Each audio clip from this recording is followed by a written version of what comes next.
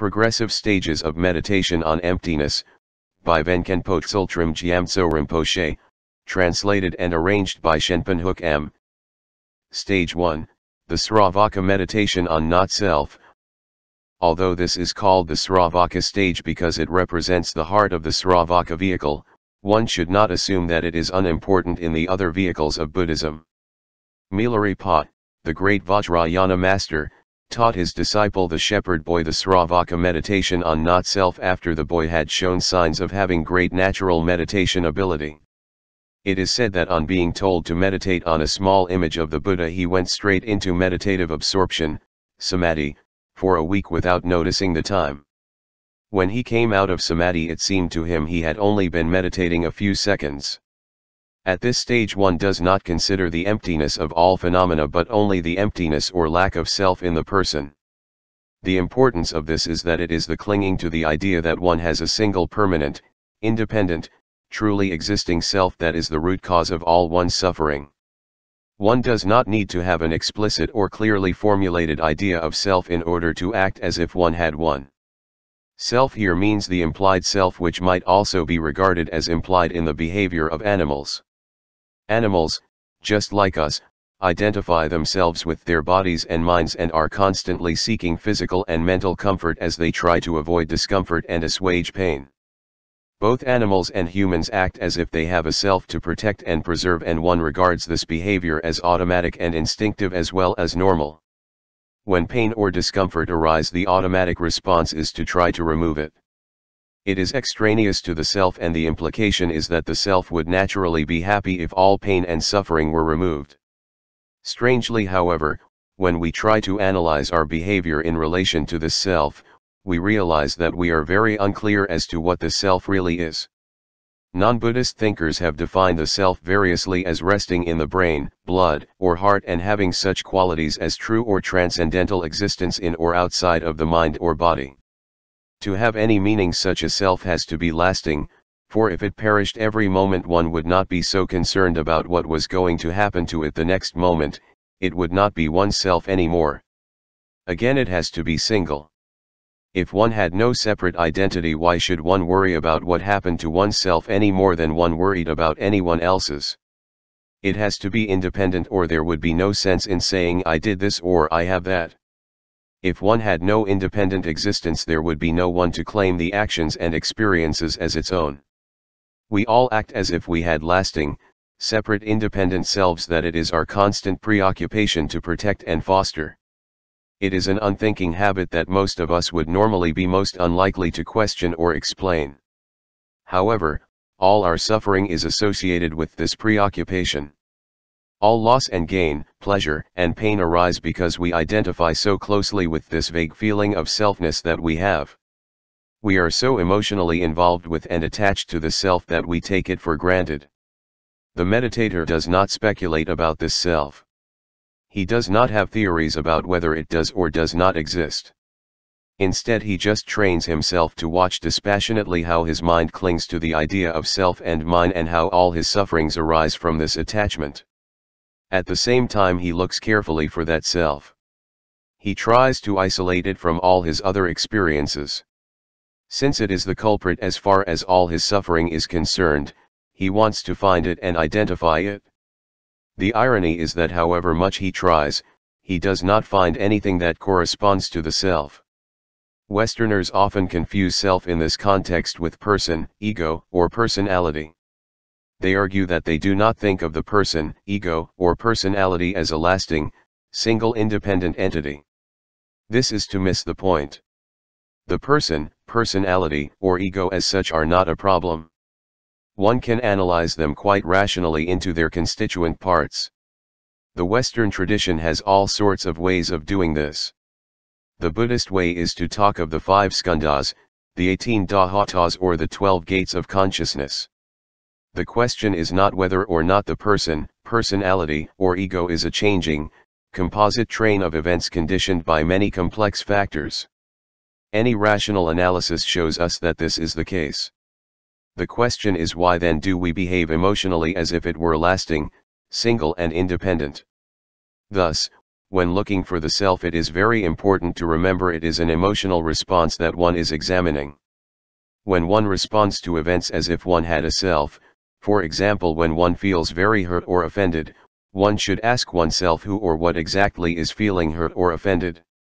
If you are not convinced that you behave emotionally as if you had a lasting, single, and independent self, then it is important to address yourself to this issue before moving on to consider the doctrine of not self. Think carefully about pain and suffering and ask yourself who or what it is that is suffering. Who is afraid of what will happen, who feels bad about what has happened, why does death seem such a threat when the present disappears every moment, scarcely having had a chance to arise? you will find that your thinking is full of contradictions, inconsistencies, and irresolvable paradoxes. This is normal. Everyone, except, perhaps, the insane, have a common sense notion of what or who they are which works, more or less, and enables them to function as normal human beings. However, when the meditator addresses himself to what or who the self is, he cannot find it. Then gradually, very gradually, it dawns on him that the reason he cannot find it is that it is not there and never was. There is tremendous emotional resistance to this realization so it takes a long time to break through, but when it does there is an immediate release of tension and suffering. The cause of it has gone. The cause of it was a mental attachment to something that was not there. Sometimes the resistance to the realization takes the form of irritation. One is used to being able to explain things to oneself rationally. Experience of the self is so direct and in a sense so obvious, there seems to be no reason to include it in one's rational explanation of things. On the other hand, when one does try to explain it to oneself, the whole thing is so irritatingly subjective it seems one could never reach any satisfactory conclusion. Instead of letting the mind rest in the actual experience of that paradox, one gets frustrated and irritated at not being able to form a watertight explanation of what the self is. It is important to notice that and be aware of it. If one tries to just push that irritation out of one's mind, one will never have a deep realization of not self. Clinging to the idea of self is like clinging to the idea that a piece of rope in the dark is a snake. When the light is turned on and one sees that there is no snake there, one's fear and suffering that arose from clinging to it as real dissolve. The snake never existed in the first place, so it was simply one's clinging to that idea that caused the suffering and nothing else. The wisdom that realizes not self is like the light that revealed the rope was not a snake. Clearly in order to end one's own suffering, there is nothing more important than to realize that when one acts as if the body and mind constituted a lasting, separate independent self, one unthinkingly attributes to them qualities which they simply do not have. Nothing in the whole stream of mental and physical phenomena that constitute one's experience of body and mind has the quality of separate independent, lasting existence. It is all change and impermanence, moment by moment and so none of it can be self and it is one's persistent effort to treat it as if it were, that makes it a constant stream of suffering, dukkha. Realizing not self is the first step to realizing the empty nature of all phenomena. That is why the first teachings of the Buddha concern the three marks of existence i.e. suffering, impermanence, and not self. The dream example. The Buddha often used the example of a dream to illustrate his teachings on emptiness and this example can be applied with increasing subtlety at each stage of the meditation progression on emptiness. It is a good example for showing how the two truths, relative and absolute work together. In a dream there is a sense of being a person with a body and mind living in a world of things to which one feels attracted or averse depending on how they appear. As long as one does not realize it is just a dream, one takes all these things as real and one feels happy or sad on account of them. For example one may dream of being eaten by a tiger or being burnt in a fire. In the absolute truth no one is being eaten or burnt, but still in terms of the dream one might really suffer as if one had been. The suffering arises simply by virtue of the fact that one identifies oneself with the person in the dream. As soon as one becomes aware that it is only a dream, even if the dream does not stop, one is nonetheless free to think, it does not matter, it is only a dream. It is not really happening to me. the person that was suffering in the dream only arose as a temporary manifestation dependent on the condition of one's not being aware that it was only a dream. It had no separate independent, lasting self of its own. Understanding this intellectually is not enough to free oneself from the strongly ingrained habit of clinging to one's mind and body as a separate independent, lasting self. One has to examine the stream of one's mental and physical experience again and again, reflecting on what one does or does not find until one reaches total conviction and certainty. Having become convinced of what is the case one then has to meditate resting the mind in this newfound knowledge until the veils caused by one's habitual patterns of thought have finally dissolved. At this point direct, unmistakable realization of not self arises and it is this genuine experience that actually liberates one from suffering.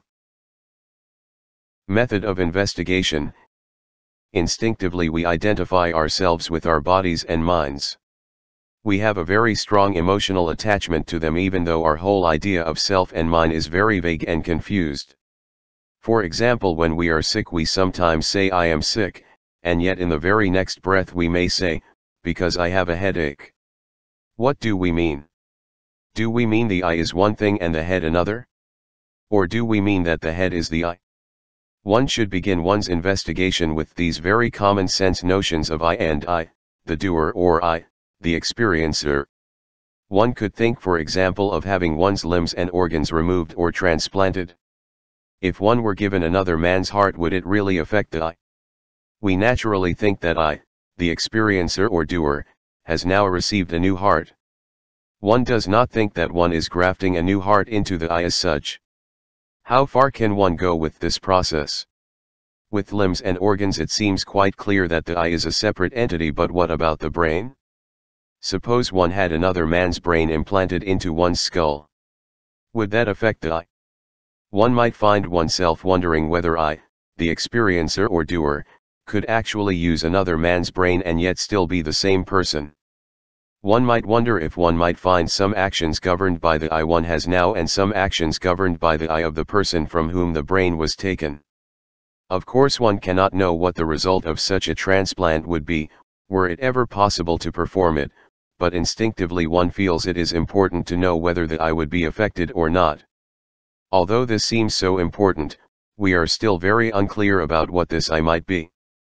We may wonder if it is, perhaps, just a small vital part of the brain.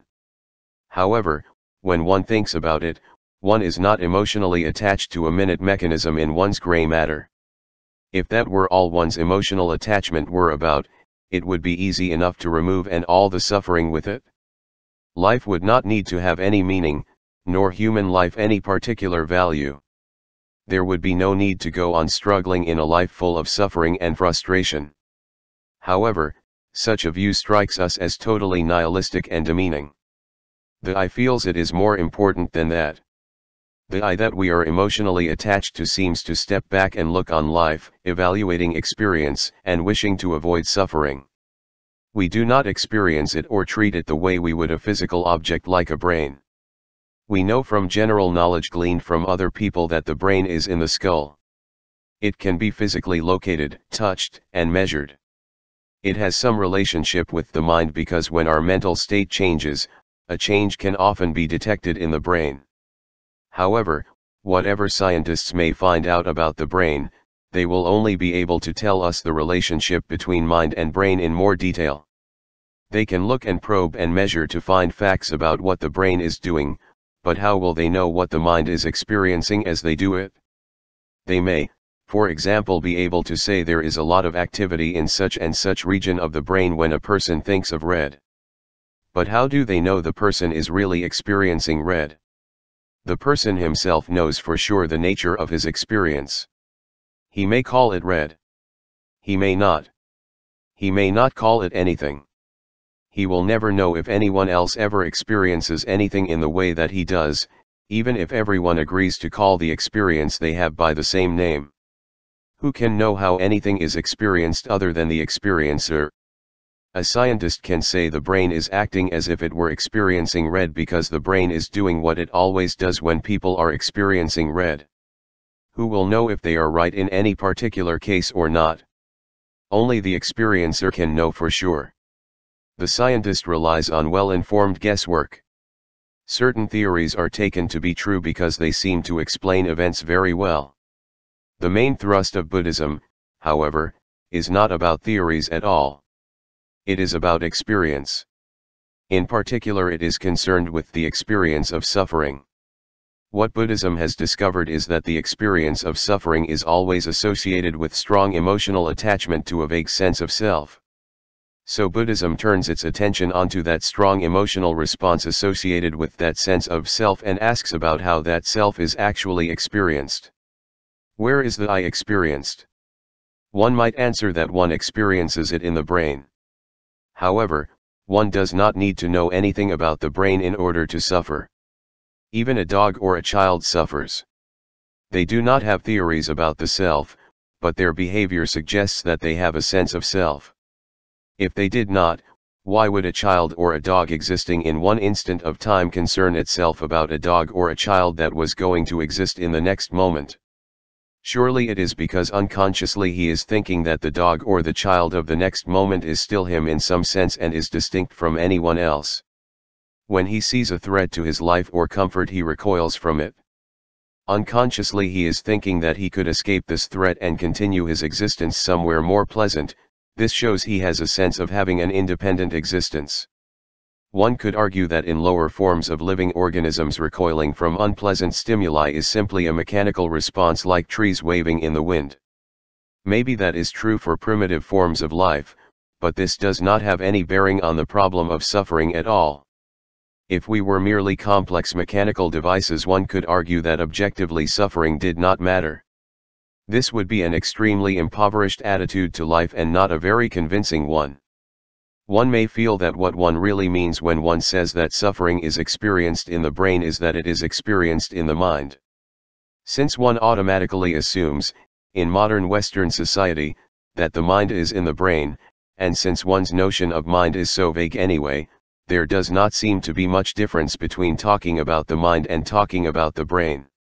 However, they cannot be synonymous, even if ultimately they are discovered to be of the same stuff, or nature. One cannot avoid the question of what we mean by mind. We are extremely vague and imprecise in our everyday, common sense way of talking about it. Sometimes it seems we identify ourselves with our mind, as for example when we say we are happy or sad.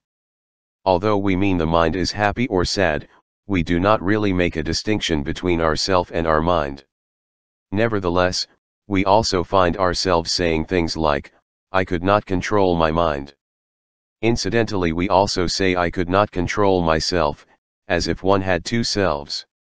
This seems to be the same lack of clarity that enables us sometimes to talk as if the self were the mind and sometimes as if the self owned the mind. One might be tempted at this point to start speculating about the nature of the mind and the self. One might even wax philosophical about it, reflecting on such statements as, I think, therefore I am. However, since I am is merely a thought, the only thing we are really sure of is the experience of thought. So the only sure means of finding out what that experience is, is to experience it as precisely and as dispassionately as is possible. So the Sravaka approach is to investigate experience by simply being as aware as possible every moment. In order to carry out this investigation as systematically as possible Buddhist teachers have organized experience into a number of comprehensive sets of categories. One of these sets of categories is called the five skandhas, which literally means the five heaps. They are called heaps because looked at dispassionately, all our experience arises moment by moment as isolated, impersonal events. After they have arisen, so soon after that it seems simultaneous, we become emotionally involved and create a whole scenario of self versus world or other. The five skandhas are 1. Form, 2. Feeling, 3. Perception, 4. Mental constructions, 5. Consciousnesses. Form. Form refers to the body and the environment. We take for granted that there is a world out there beyond our senses and that our body partakes of that world. When we sit down to meditate it is the body and its environment that first catch our attention. So we can start our investigation there. I am sitting here because my body is sitting here. Is that I therefore the body? One can examine the body systematically taking it limb by limb, organ by organ. Is my hand me? Am I still me without my hand? What is a hand anyway? Is it still a hand without fingers? Without skin? Without bone? Without flesh? When it is broken down in his way one finds that hand is merely a convenient concept. There is no such thing as a hand as such. It is the same for every part of the body. It is the same right down to the tiniest cell, and the tiniest atom and the tiniest part of an atom as scientists know only too well. However far one investigates one will always find more parts and as each part is given a name, each part will be found to break up into something other than itself. The process is endless. Examining the body in this way one may come to the conclusion that I and body are merely convenient concepts for dealing with the world and experience. They have a certain relative reality but they are not absolutes. In the relative truth they are streams of events that one identifies and labels as I or body. But that I or body cannot be said to have lasting, separate independent existence. If the body had such existence it might have been called the self, but it does not have, and however much one were to investigate it, it never would have. It is not self and self is not the body. The same applies for the brain of course. Feeling, feeling here refers specifically to those of pleasure, displeasure, and indifference. For example as one sits in meditation, one may like it and want to stay, or one may not and want to leave. The only other alternative is that one may not care one way or the other. Wherever we are and whatever we are doing, we are always experiencing one or other of these three feelings. They are not self, however, because none of them is lasting, they take turns in arising, now there is happiness, now sadness, and so on. Self could not be the feelings because they are always changing. Perception Perception here refers to the first moment of recognition of input through the senses.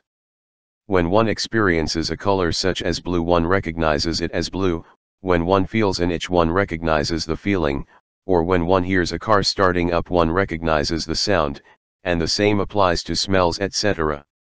We experience a continual stream of perceptions through our senses all the time we are awake. We are either listening to something, looking at something, feeling something with our sense of touch, tasting or smelling something or even receiving the image of something arising in the mind. We have six senses including the mind. As one sits in meditation one might be perceiving the breath moving in and out, images floating into the mind, or noises going on in the street outside and so on. Although one thinks it is oneself that is perceiving these things one does not think these perceptions are the self. None of them has the characteristics of self since none of them is lasting. Mental constructions Mental constructions include all the mental activity of thinking, patterns of thought, negative emotions such as desire, pride, and jealousy, and healthy emotions such as love, devotion, and patience.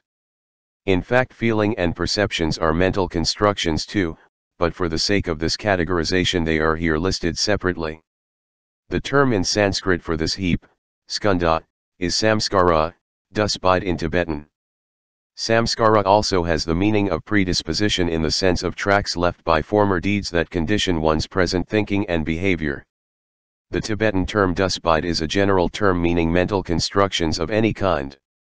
Although we should understand that everything that arises in the mind is conditioned by what has gone before, in general we can just take the skandha to mean all mental events not included in the other three mental skandhas. Although we do not think of mental constructions or mental events as being self, we do tend to identify ourself with what we conceive to be our personality. Emotionally if some part of our personality is criticized, we feel we, ourself, has been criticized. However, if one examines the makeup of one's personality very carefully and dispassionately one finds it even more intangible than the body. At least with the body one was sure what was included as part of it, even though none of it could be identified as the self. With one's personality on the other hand, one just has a stream of ever-changing mental constructions and events. One tends to choose certain, more or less constant features of this stream as characteristic of a particular personality and when they are manifest one feels a person is being himself. If he starts to manifest, again in a more or less constant fashion, totally different characteristics, we talk about him having a change of personality. We talk of people not being in their right mind, of being temporarily deranged and so on the implication is that there is a person or self other than the present personality or mind state. It is the self that we are investigating. It is clearly not the personality or any of the mental constructions or events that constitute it, since none of them exhibits a separate independent, lasting element that one could call the self. Consciousnesses A consciousness in Buddhism refers to a moment of awareness. As we think about the four skandhas that have already been listed we might feel that behind all of them there is a general sense of awareness or knowing. We might even call it the mind itself as opposed to the mental events that occur within it. We might feel that this is really what we mean by the I or the self. It seems to be an unchanging, separate independent awareness that is just going on as the basis of all our experience and it is this awareness that is I, the doer. Let's examine this idea carefully. Generally speaking we think of our life and experience going along as a sort of stream in time and space. There is a sense of beginning and end and one event following on from another. Even though one does not think exactly in terms of a moment of experience having edges round it, nevertheless there is a sense of its ending somewhere, otherwise it would just merge into everything else so our experience and our sense of self is definitely bounded by time and space. Therefore, it must be possible to divide it up into the smallest conceivable parts and the smallest conceivable moments of time. In the Sravaka approach one tries to be aware of the smallest conceivable moments of experience in order to be sure that one has missed nothing in one's search for a lasting, separate permanent self. What one finds is that every moment of experience has two aspects.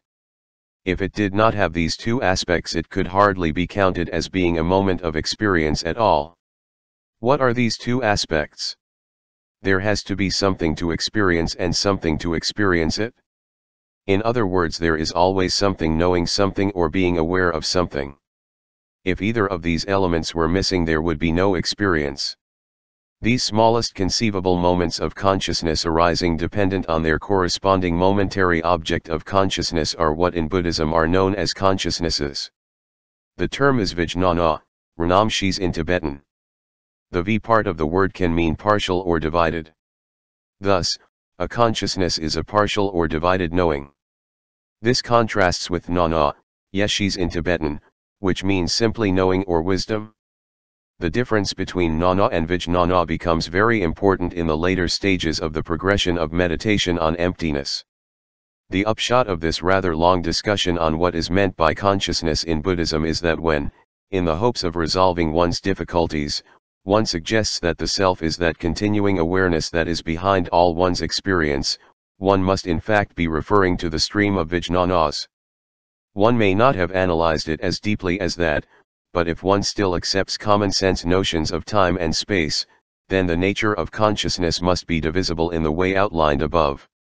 Furthermore, since each moment of consciousness has a different object each moment of consciousness is separate and distinct. It might be a consciousness of form, sound, smell, taste touch or mental image, but whichever it is, it is quite distinct from any other moment that has arisen before or is about to arise after it. The moment before has gone and the moment to come does not exist yet. So consciousness can only ever be momentary and such a momentary phenomenon would never qualify for the title of self. Thus, the mind or awareness that seems to be behind all our experience cannot be the self either. At the end of our analysis we arrive at the conclusion that the self is simply a vague and convenient concept that we project now here and now there onto a stream of experiences, and is nothing in or of itself. One may wish to maintain that the self is the continuity of the stream of physical and mental events that constitute a personality and that as such it does not have to have the characteristics of being lasting, single and independent.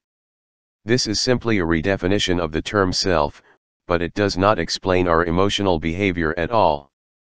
Buddhism is not telling anyone that he should believe that he has a self or that he does not have a self. It is saying that when one looks at the way one suffers and the way one thinks and responds emotionally to life, it is as if one believed there were a self that was lasting, single, and independent and yet on closer analysis no such self can be isolated or found. In other words the skandhas are empty of a self.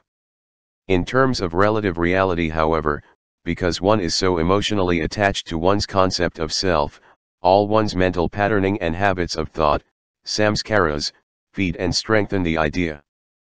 Furthermore, the actions that one performs in the belief that it is the self acting serve to create the world that one finds oneself in. In other words, although there is no self in absolute terms, in terms of the relative one still has to suffer the results of one's past good and bad actions. To illustrate this point, take, for example a candle flame. One can, in a general way, say something like, that flame has been burning all day. However, in absolute terms, no flame has been burning all day. The flame was never the same flame from one moment to the next. There was no single independent, lasting flame there at all. There is no such thing as a flame as such, nevertheless it is still meaningful to talk about flames. When one meditates on the emptiness of the skandhas, one simply sees them as they are, there is nothing solid and real about them, they are not a lasting, independent, separate self and there is no such self in them. Just as in a dream, once one sees that the person in the dream is not really oneself, any suffering that one may have felt on account of being burnt or chased by a tiger, for example simply fades away. In the same way, when one focuses one's attention inwardly on the absence of self in the skandhas, all the suffering caused by taking the skandhas to be the self fades away. Then the mind can rest peacefully in empty space, with perfect confidence and assurance. Through meditation in this manner all subtle doubts are worn away and the mind can rest naturally in emptiness. The fruit of the Sravaka practice Our instinctive, emotional attachment or clinging to a vague notion of self is the source of all our suffering. From the idea of self comes that of other. It is from the interaction of self and other that desire, hatred, and delusion arise. There are many kinds of desire including greed, envy, and miserliness. Hatred can take the form of jealousy, anger, and resentment. Delusion includes mental dullness, stupidity, and confusion. From these unhealthy mental states arise actions motivated by them, and their results. The results take the form of all kinds of sufferings, which one cannot escape as long as one identifies with the self who is suffering. Thus the only way to remove one's suffering is to realize not self. The wisdom mind that realizes not self is like light removing darkness. Just as darkness cannot exist in the light, so suffering cannot exist in the light of the wisdom mind. Where there is suffering, clinging to self must also be present. Where there is clinging to self, ignorance of not self must be present. The only way to remove suffering is therefore to remove the ignorance that causes the clinging to self. Thus the goal for the Sravaka is the removal of suffering. That goal is called nirvana. The Sravaka is not trying to remove the suffering of all beings, nor is he trying to attain Buddhahood. He does not have the vision, the understanding, nor the confidence necessary to do that. His aim is relatively modest. It is simply to remove the cause of his own suffering. Nonetheless, one cannot say that his realization of emptiness is not very profound. It is said that it corresponds to that of bodhisattvas on the first to the sixth levels. It removes the veils of ignorance and confusion that make deeper and more subtle levels of emptiness so inaccessible. Therefore, by realizing the not self-emptiness of the skandhas one is preparing the way for the higher vehicles, whose goal is not just the removing of one's own suffering, but the suffering of all beings. Meditation Procedure Although when the progressive stages of meditation on emptiness are being taught one often has little time to meditate on one stage before one is introduced to the next, it is best to take each stage at a time and to practice it until some definite experience has arisen. It is important to have a regular meditation schedule beginning with periods of 15 to 30 minutes in the morning and evening. One can build up from there meditating for longer and longer periods. As with study and reflection a certain amount of perseverance and effort are needed at first, but one should never let one's mind get too tight. Remember the example of the musician tuning the strings of his instrument. The tension has to be just right, neither too tight nor too loose. Choose a definite time in the morning and evening to sit in meditation. Sit in a good meditation posture and always begin by taking refuge and rousing bodhisattva motivation. When you first begin the practice, reflect for some time on the meaning of not self, and investigate in the manner explained above. However, once you have developed some confidence and understanding, do not bother to keep investigating, just go straight into the emptiness meditation. To keep returning to the investigatory stage after confidence has arisen is like keeping switching a light on and off without any purpose. Once the light is on, leave it on. At the meditation stage of your practice there should be no more need for reflection. One should just rest in the meditation without any hesitation. At the end of each session dedicate all the merit to the enlightenment of all beings. Between sessions reflect again and again on how there is no self in the skandhas and think of everything as being like a dream, a film, or a magical illusion. There is the appearance of a self but there is no self there really. Thinking like this, how can unhealthy emotions such as greed, hate and delusion arise? If these do not arise how can suffering arise?